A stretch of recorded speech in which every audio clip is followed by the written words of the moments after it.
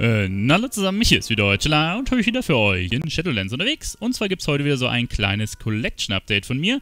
Das letzte ist jetzt schon, ja, etwa einen Monat her. Dem bedingt, dass wir zwischendrin ein paar andere Sachen zu tun hatten, hauptsächlich den Mage Tower.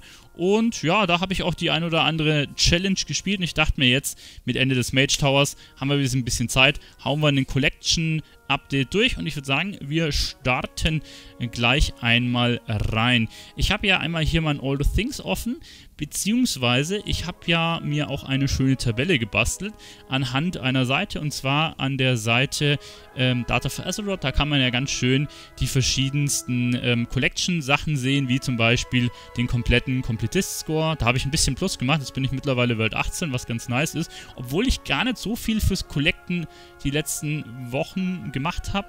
Hauptsächlich, weil wir ein bisschen im Match Tower festgehangen waren. Und da gibt es zwar auch ein Achievement und so und ein Mount, aber eigentlich nicht so viel anderes tatsächlich. Gut, ich würde sagen, wir schauen mal rein, wo wir hauptsächlich unterwegs waren. Vor dem Mage Tower ähm, war ich ja so ein bisschen an den Ruffraktionen tatsächlich dran. Und da hatte ich ja äh, schon länger die ganzen Ruffraktionen auf der Allianz-Seite, alle soweit fertig. Aber auf der Hordenseite haben mir ja einige gefehlt, weil ich zwar immer mal wieder ein bisschen Horde gespielt habe, aber jetzt nie wirklich Horde gemaint habe und dementsprechend auch keine Ruffraktion hochgespielt habe. Ich habe ja dann im Laufe der Zeit die ganzen Ruffraktionen soweit ähm, hochgebastelt. Die, die mir noch gefehlt hatten, waren die, ich würde mal behaupten, die drei ätzenden, heißt, das sind die PvP-Fraktionen. Also das ist einmal ähm, Arati, Warsong und ähm, dann noch Alterac Valley. Und da gibt es natürlich auch jeweils eine Ruffraktion. Und da muss ich sagen, hatte ich eigentlich halbwegs Glück. Und zwar, ich konnte alle diese drei Ruffraktionen äh, innerhalb jeweils etwa einer Woche durchziehen. Wenn, wenn, man, wenn ich mich jetzt so zurück entsinne, als ich das, das erste Mal auf Ali-Seite gemacht habe, dann hat das gefühlt ein halbes Jahr gedauert, um eine Ruffraktion hochzuziehen. Und damals war es tatsächlich auch knackiger. Dieses Mal habe ich die Ruffraktion jeweils bei den Events hochgespielt. Ich habe zum Beispiel Arati hochgebastelt während dem ähm, Kinderspiel-Event. Das ist so ein Arati-Brawl, wo man einfach gegen ja, NPCs antritt. Wenn es gut läuft, dauert das Arati da fünf Minuten und du gewinnst, also du kannst das eigentlich nicht verlieren, dieses Game gegen diese NPCs. Und das ging irre, irre zügig. Das war eine super Sache. Da konnte man an, wenn man das wirklich durchgezogen hat, an einem Tag seinen Schaf ehrfürchtig bringen. Also wenn ihr Arati noch braucht, sowohl Ali als Horde, macht es bei dem Kinderspiel-Event. Es gibt nichts Einfaches. Also im Vergleich das Normalste machen, es dauert so viel länger. Genau, dann hatte ich äh, Warsong noch nachgezogen. Und zwar gibt es so ein Warsong-Event, wo man zehn Flaggen ähm, abgeben kann in einem BG. Da muss man auch nicht die eigene Flagge selber haben, sondern kann einfach die Flagge abgeben, egal was die Gegner machen. Richtig schöne Sache, da bin ich mit meinem Horden-Druid einfach in der Reisegestalt immer durchgeflitzt, habe die Flaggen abgegeben. Ist nicht ganz so effizient wie das Kinderspiel, aber ich sag mal so, es geht so viel schneller ähm, als im normalen Narrati äh, im normalen Warsong. Im normalen Warsong holst du die Flagge, dann wird die eigene Flagge äh, von den Gegnern geholt, beide Flaggenträger stehen in der Base rum, die ganzen Leute äh, zergen ein bisschen in der Mitte und es geht nichts voran. Du kriegst eine Flagge durch, keine Flagge durch, ist ein Riesenkack. Mit diesen 10 Flaggen-BGs, mit diesem ähm, Brawl ging es deutlich schneller. Ich habe es in der Woche geschafft, von 0 auf ehrfürchtig damit durchzuziehen. Und das letzte, was ich hatte, ähm, war Alteraktal. Und das hatte ich irgendwie damals in Erinnerung, dass das ziemlich schnell ging im Gegensatz zu den anderen. Aber das hat mir am längsten gedauert. Das habe ich, glaube ich, nicht ganz in der Woche gemacht, sondern eher in zwei. Und da habe ich sowohl das normale Arati gespielt, als auch äh, zu der Zeit um Weihnachten rum ähm, gab es dann auch noch, beziehungsweise es war noch vor Weihnachten, ne? Das war Anfang, Anfang ähm, Dezember noch, gab es den Geburtstag von Blizzard und da gab es ja noch dieses Korax Rache, schimpft sich das, glaube ich, also das alte Arati, äh, alte Arati sage ich, ähm, hier Alpha, Alterak Tower, Alterak Valley, so rum, nicht Tower. Jetzt wird es aber mit dem Namen schwierig. Und da konnte man auch ganz ru gut Ruf noch farmen, aber ich denke, meinem normalen BG ging es auch recht gut. Und damit habe ich jetzt die ähm, letzten paar Ruffaktionen abgeschlossen. Und ihr seht, jetzt habe ich insgesamt 201 Ruffaktionen. Mehr kann man aktuell nicht kriegen. Und ähm, ja, Moment, da seht ihr es. Hier waren die letzten. Am 8. Dezember habe ich das dann noch abgeschlossen. Und damit bin ich jetzt mit, muss man natürlich fairerweise sagen, mit anderen auf Platz 1. Ich bin nicht der Erste, der alle Ruffraktionen hat. Das sind jetzt mittlerweile äh, 1, 2, 3, 4, 5. Ich bin der Sechste, der alle Ruffraktionen auf Ehrfürchtig hat. Und ja, aber mit auf Platz 1 quasi. Und damit sind für mich erstmal Ruffraktionen abgeschlossen. Zumindest äh, die einmal hochzuspielen. Eventuell muss ich noch die eine oder andere Ruffraktion dann hochspielen, um mir noch irgendeinen T-Mog von anderen Rüstungsklassen zu holen. Aber das ist jetzt erstmal nicht so ganz oben auf der Liste. So, ich würde sagen, wir schauen uns jetzt mal meine Tabelle ein bisschen an die ich äh, gebastelt hatte hier. Ich habe die jetzt ein bisschen abgeändert, weil ähm, auf der Data-Faserot-Seite hat sich die Sache auch ein bisschen geändert und dementsprechend würde ich sagen, schauen wir da einmal rein. Also das letzte Mal waren wir am 1. Ähm, Dezember dabei und jetzt haben wir den 5.1. tatsächlich. Heißt über einen Monat zwischendrin. Es waren jetzt vier Wochen Mage Tower, da habe ich ehrlich gesagt nicht viel collected und davor, ähm, ja, war ich auch schon ein bisschen eher bei den Berufen an sich dran. Jetzt können wir mal gucken. Wir haben einen Collection Score plus gemacht, also wir sind von 725.000 auf 730.000. Erstmal sind wir von Rang 21 auf 18, was sehr gut ist im, im World Rang und Punkte habe ich 4.600 irgendwas plus gemacht. Drei Ringe haben wir plus gemacht. Bei den Achievements haben wir 65 Achievement-Punkte plus gemacht. Das setzt sich einerseits daraus zusammen, dass ich ähm, hier im Match Tower halbwegs erfolgreich war und die Match Tower Achievements habe. Und dann habe ich noch ein bisschen was bei den Ventil gemacht. Ich habe ja alle ähm, Achievements bei den verschiedenen Covenants schon erledigt gehabt, aber halt teilweise auf Twings. Und das Problem ist, dass, ähm, ja, dass, dass, dass die Seite nicht ganz trackt, ne? Also wenn man auf der, ähm, ich wollte hier gerade jemand anhandeln, sehe ich gerade, dass man, wenn man auf der ähm, Seite hier auf der Art Azeroth wird das leider nicht vernünftig getrackt, wenn man die Achievements auf Twinks gemacht hat. Da muss man diese Achievements bei den verschiedenen Covenants leider auf einem Char machen. Jetzt muss ich die nochmal angehen.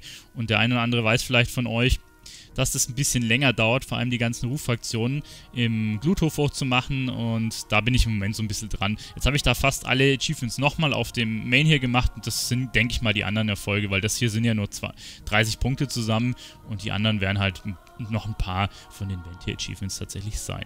Genau, so viel dazu.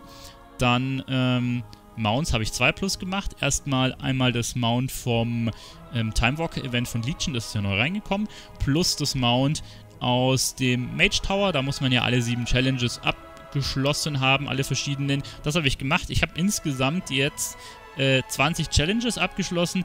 Eigentlich war mein Ziel, alle 36 abzuschließen.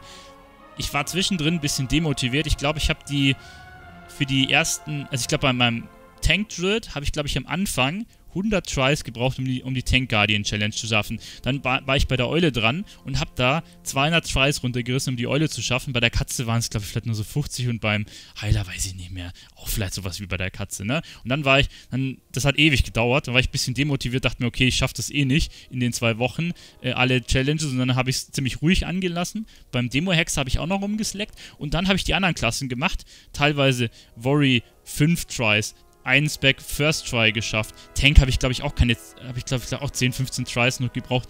Mage war dann auch ähnlich gut.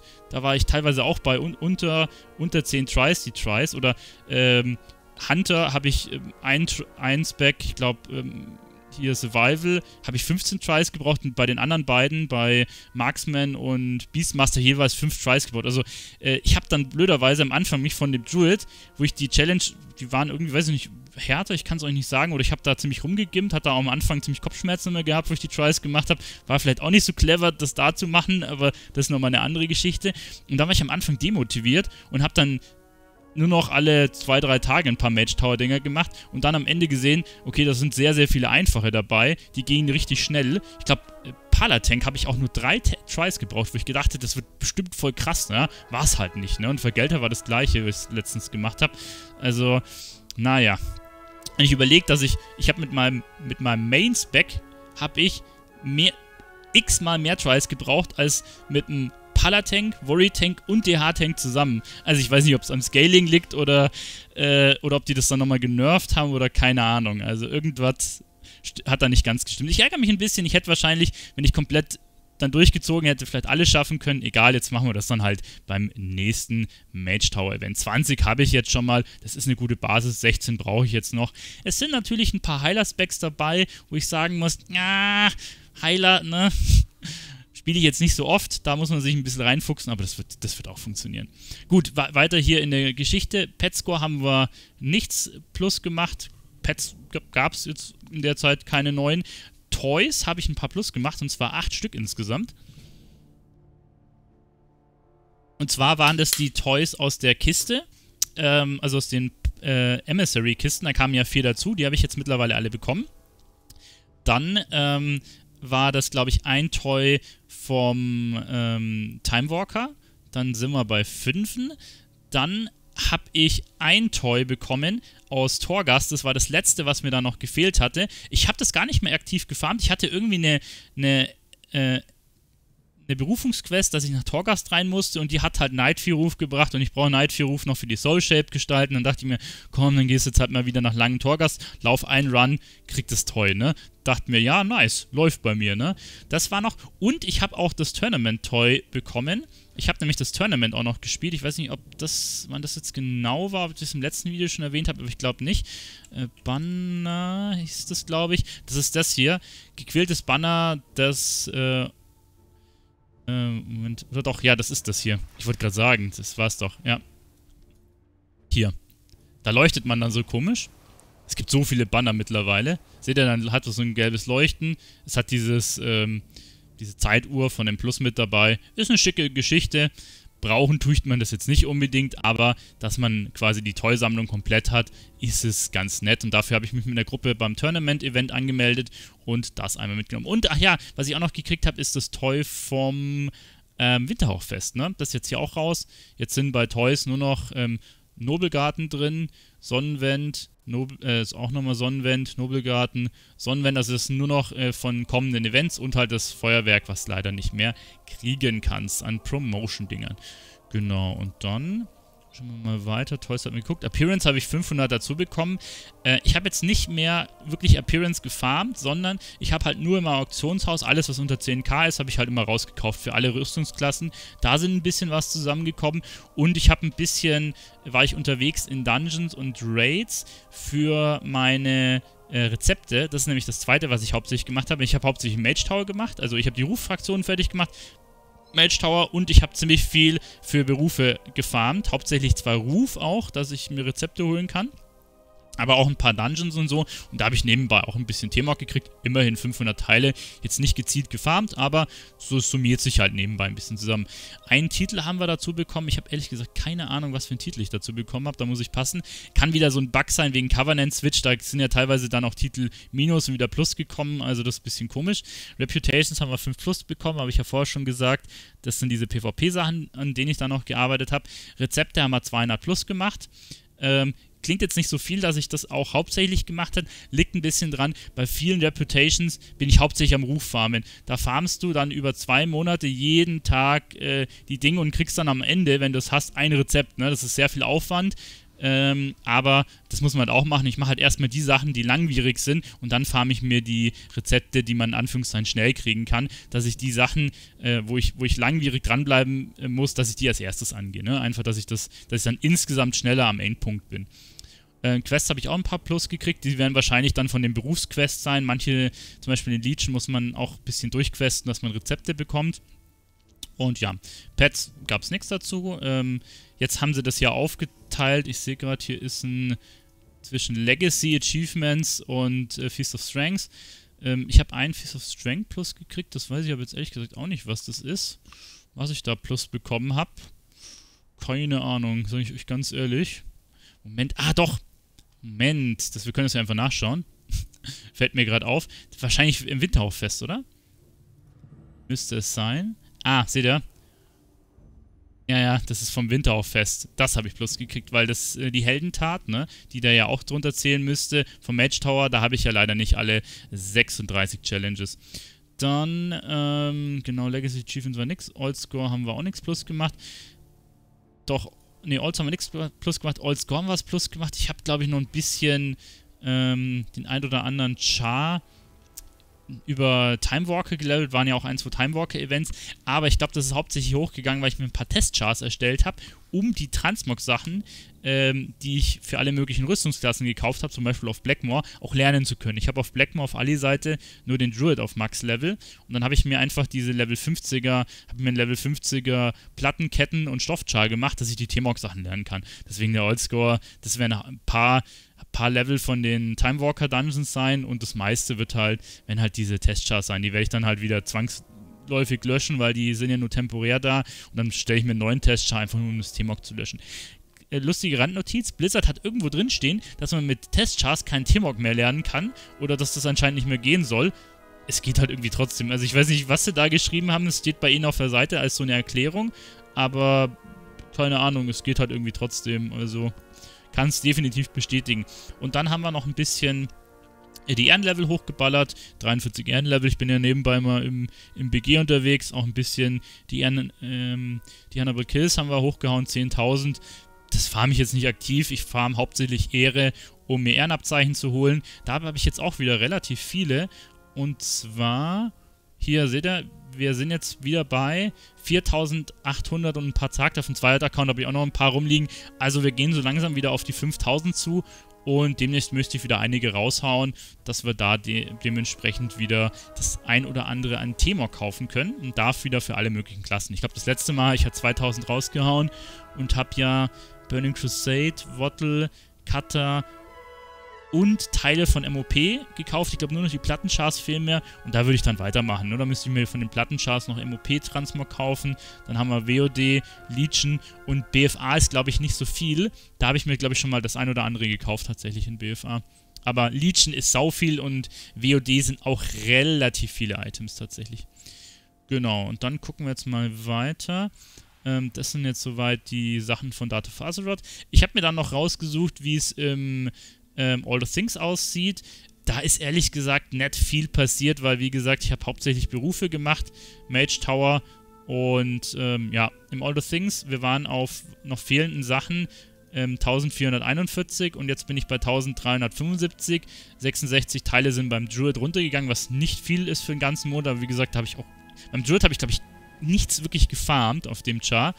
Ähm, es sind auch, glaube ich, fünf oder sechs Updates in der Zwischenzeit gekommen. Also es kann auch mit den Updates zusammenhängen. Blizzard, äh, Blizzard sage ich, die Entwickler von All the Things tun teilweise dann Kategorien irgendwie anders äh, zusammenstellen. Dann kann sich die Zahlen auch ändern, obwohl man auch vielleicht nicht viel gefarmt hat.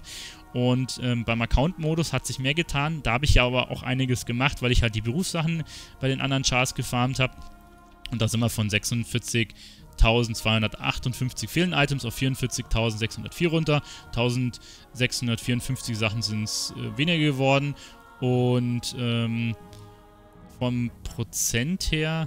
Achso, da muss ich Nachkommastellen einzeigen, ne? sonst, sonst passiert da nichts. Okay, ich habe nämlich vorher meine Tabelle wieder ausgekramt. Dann machen wir doch mal mit Nachkommastellen. Okay, dann, ja klar, da passiert trotzdem nichts. Da bleiben wir bei 0,0. Aber hier äh, haben wir dann zumindest 0,15. Das ist äh, im Account-Kompletisten-Modus natürlich doch schon ein bisschen was, obwohl es nicht auf den ersten Blick viel aussieht. Genau, das war es eigentlich jetzt mit dem ganzen ähm, was ich so die letzten Wochen gemacht habe. Und ja, jetzt würde ich sagen, ähm, werde ich demnächst, wie gesagt, die Ehrenabzeichen noch ein bisschen auf den Kopf hauen. Da werden wir, denke ich mal, das ein oder andere noch an Transmog rausholen. Und ja, ich werde jetzt erstmal ein bisschen weitermachen mit den Berufen tatsächlich auf meinen Twings. Da bin ich, ähm, ich kann da mal kurz was zeigen. Ich habe da ja noch mehr Tabellen hier. Ich bin ja mittlerweile so ein kleiner Tabellenfuchs geworden. Zum Beispiel, ähm, bin ich ähm, sowohl Schneider, VZ, Inschriftenkunde, Alchi, Juve und Ingi ähm, am Ruf farmen. Das sind jetzt zum Beispiel die Rufsachen, die ich in BFA zum Beispiel farm. In Shadowlands bin ich schon fast mit allen Chars durch, den Ruf zu farmen. Ne? Also, äh, da habe ich mit den meisten Chars schon den Respekt oder den ähm, respektvollen Ruf bei den meisten Fraktionen, wo ich es halt bei dem jeweiligen Beruf brauche oder halt wohlwollend bei Dead Advanced Fraktionen und schon zu Genüge Courtier gemacht, beziehungsweise dann den Codex, da muss ich dann auch immer auf Rang 4 hochfarmen, also da habe ich schon, schon länger auch gefarmt, aber jetzt bin ich auch halt in BFA am Farmen, da seht ihr, ich muss zum Beispiel beim Schneider respektvoll beim Blutorden werden oder beim VZ, fast bei den ganzen Fraktionen, Inschriftenkunde, da braucht man dann immer die ähm, diesen Vertrag, dass man mehr Ruf kriegt, muss man auch immer respektvoll sein. Ich habe es hier schon mal grün markiert, wo ich, wo ich schon respektvoll bin. Oder beim Alchi, da brauche ich dann auch relativ viele Fraktionen, Juve, Inji. Also da bin ich dann jeden Tag die ähm, Emissary-Quests am machen oder auf Mechagon äh, mache ich täglich diese eine ähm, World Quest, die man hat, die relativ viel Ruf bringt. Und also da bin ich schon ganz gut ausgelastet. Ja? Und ich mache jeden Tag die Juve Daily mit zwei Charts im Moment. Habe da schon mittlerweile über 100 Marken. Also diese Juve-Marken, wo man dann Rezepte kaufen kann. Die gebe ich dann aber irgendwann mal gebündelt aus, habe ich mir überlegt. Also ich fahre mir da mal, ich glaube 500, 600 braucht man da tatsächlich zusammen und dann werde ich die auf einmal quasi raushauen. So viel äh, noch dazu. Und mit dem Druid, jetzt wo der Match Tower zu Ende ist, ähm, habe ich jetzt erstmal nicht vor, gleich wieder ins T-Mog farmen oder irgendwas zu gehen, sondern ich brauche ja äh, am besten, bevor die Season endet, hier noch ähm, zwei Sachen. Und zwar muss ich einmal ein bisschen PvP anfangen. Ich habe noch kein einziges PV Rated PvP-Match in der Season gespielt und die Season läuft schon eine Weile. Zu viel anderes Zeug vorgehabt. Ich muss jetzt mit Arena anfangen, das werde ich jetzt wahrscheinlich morgen oder die Tage mal loslegen und muss mir auf jeden Fall das Mount erspielen. Das zählt dann nämlich als zwei Mounts, sowohl als ähm, quasi Horde und ähm, Ali-Variante. Dann muss ich noch Ding umhauen, Sylvanas, dann muss ich mich noch um den Kill kümmern. Und ja, sonst weiß nicht, wahrscheinlich wird es jetzt nicht mehr ausgehen, weil die Season wahrscheinlich nicht mehr so lang geht. Aber ich werde mal gucken, vielleicht wenn es gut läuft, versuche ich hochzuspielen. Vielleicht kann man, kann man sich irgendwie das Gladi Mountain noch sichern. Wird aber wahrscheinlich ein bisschen knapp, wenn man jetzt im Moment mit Null startet. Aber wir werden sehen. Versuchen kann man es ja mal. Und ja, das wird jetzt wahrscheinlich mich hauptsächlich auslasten die nächste Zeit. Heißt, äh, PvP mit dem Main zu machen und mit den äh, Twinks weiter alle möglichen ähm, Daily-Routinen durchzulaufen und die Berufssachen mitzunehmen. Das will ich jetzt so als nächstes machen. Ich hatte es vorhin auch schon im Stream mal erwähnt. Ich habe vor das jetzt irgendwie so anzugehen, erst die Reputations zu machen, dann jetzt die Rezepte, das wird halt auch nur eine langfristigere Sache, nach den Rezepten äh, die ganzen Quests, dann auf die Titel zu gehen und als letztes auf die Appearance, ne, weil das der größte Haufen ist und ähm, Achievement-Punkte, Mounts, Pets und Toys, die habe ich ja eh immer im Blick und da bin ich bei allen relativ gut tatsächlich.